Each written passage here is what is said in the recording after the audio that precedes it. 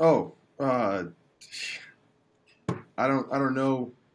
Infinite. I mean, he. Uh, I, I kind of felt like I always wanted to to go into coaching, which was a, a reason why I wanted to go to Ohio Wesleyan because Mhm. I knew at that time. I mean, it's crazy. At that time, Jay's big marketing thing, um, or that his assistants marketed about him, was that he was the fastest coach to 500 wins. And then I was there as a player for win 600, and then there as an assistant coach for win 700. 700. So- yeah.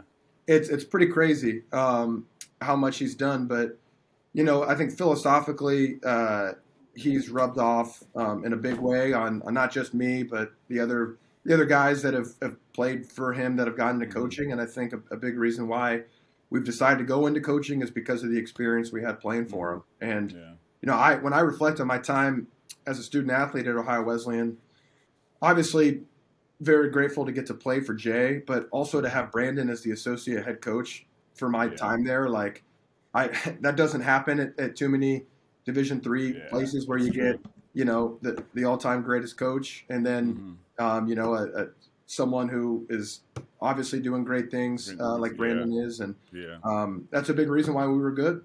hmm